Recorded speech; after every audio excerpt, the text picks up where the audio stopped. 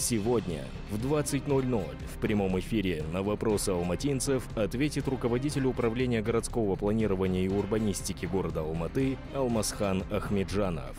Внимание! Прямая трансляция Акимат Лайв в популярных социальных сетях и на канале YouTube.